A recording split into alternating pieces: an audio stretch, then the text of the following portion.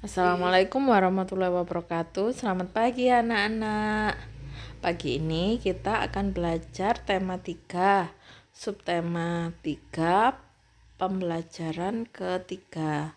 Pada kesempatan kali ini kita akan belajar tentang rangkaian paralel dan seri.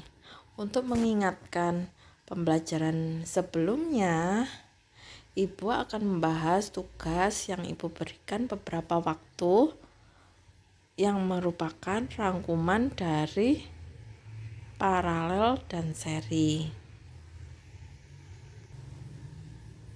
Mengingatkan pembelajaran yang kemarin yaitu perbedaan rangkaian seri dan paralel. Untuk pembedanya penggunaan kabel dan saklar. Pada rangkaian seri lebih hemat sedangkan rangkaian paralel lebih boros. Kemudian penyusunan komponen pada rangkaian seri berurutan sedangkan paralel sejajar atau bersusun. Untuk kondisi komponen listrik pada rangkaian seri berpijar namun terangnya tidak sama. Sedang pada paralel berpijar dan terangnya sama untuk kontinuitas masing-masing komponen listrik. Pada rangkaian seri, jika padam salah satu, maka akan padam semuanya. Pada paralel, jika padam salah satu, maka yang lain akan tetap menyala. Untuk hambatan total pada rangkaian seri lebih besar dari hambatan terbesar di rangkaian seri sedangkan rangkaian paralel lebih kecil dari hambatan terkecil di rangkaian paralel. Untuk cara pemasangan pada rangkaian seri lebih mudah, sedangkan rangkaian paralel lebih sulit. Jalur pada rangkaian seri satu jalur rangkaian, sedangkan pada paralel lebih dari satu rangkaian tergantung pembuatannya. Sedangkan tegangan pada rangkaian seri berbeda-beda pada rangkaian paralel sama.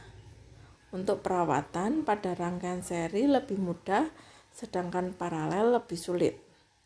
Untuk biaya pembuatan rangkaian seri lebih murah, pada rangkaian paralel lebih mahal. Kemudian untuk diagram Venn-nya kita buat seperti ini. Pada untuk pembeda rangkaian seri dan paralel. Untuk rangkaian seri lebih hemat kabel. Satu jalur rangkaian disusun sebaris. Sedangkan pada rangkaian paralel perbedaannya yaitu lebih boros kabel, lebih dari satu jalur disusun berderet.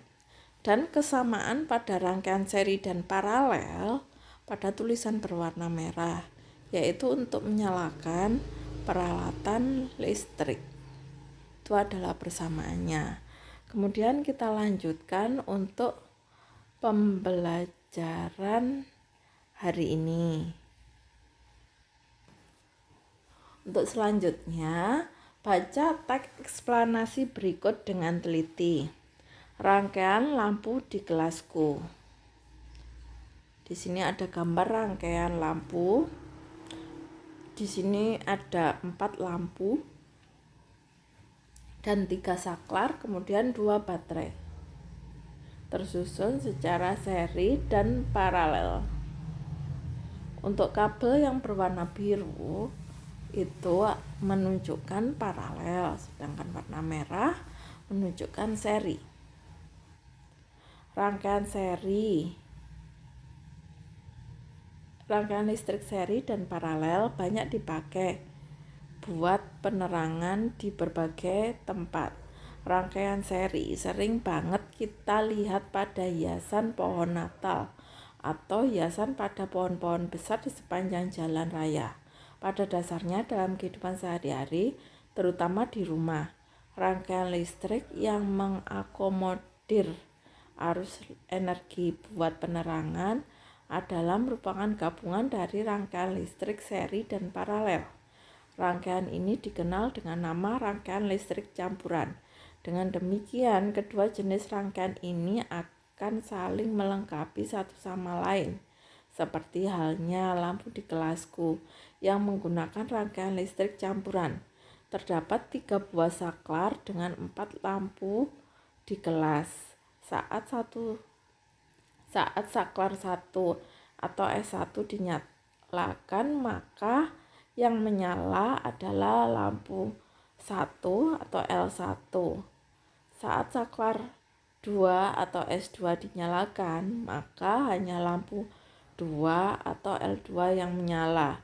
Saat saklar S3 dinyalakan, maka lampu 3 atau L3 dan 4 atau L4 menyala. Dengan kondisi tersebut, maka rangkaian seri pada lampu di kelas adalah L3 dan L4. Sedang rangkaian paralel adalah L1, L2, dan L3 serta L4.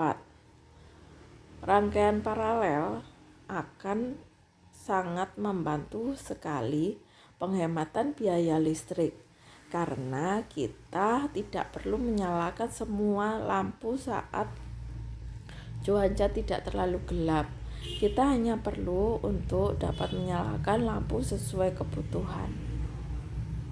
Ini gambarnya ya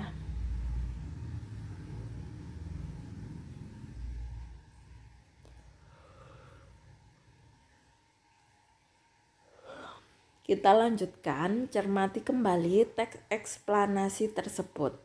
Temukan kosakata non baku dan kata tidak efektif dalam teks dan perbaiki tulisan dalam tabel berikut. Di sini ada tabel. Kalian tulis kosakata non baku, berarti kata-kata yang tidak baku, yang tidak sesuai dengan ejaan bahasa Indonesia. Kemudian perbaikan kosakata baku. Dari kata non baku tadi, kalian cari perbaikan kosakata bakunya seperti apa agar kalimat tersebut menjadi sesuai dengan ejaan bahasa Indonesia. Kemudian kalimat tidak efektifnya seperti apa kalian tulis dan perbaikan pada kalimat efektif. Jadi kalimat yang tidak efektif tadi kalian ubah menjadi kalimat efektif.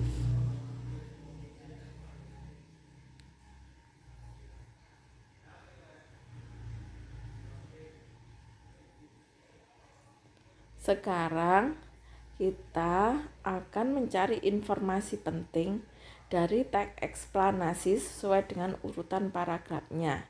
Di sini seperti biasa kita akan membentuk diagram tentang paragraf 1 berisi topik masalah. Paragraf 2 adalah penjelasan 2 dan 3 maksud saya. Kemudian paragraf 4 kesimpulan dan pesan atau pendapat pribadi penulis. Nah, sekarang kamu akan belajar untuk menjadi seorang penemu cilik.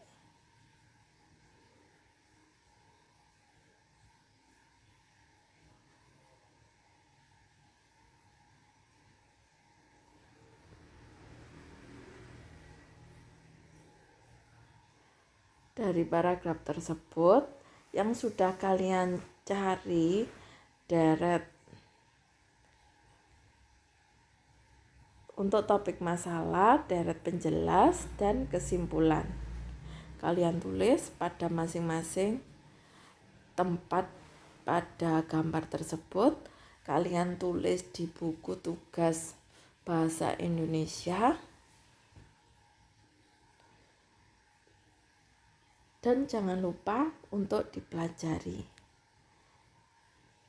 Kiranya cukup sekian. Ibu akhiri. Wassalamualaikum warahmatullahi wabarakatuh.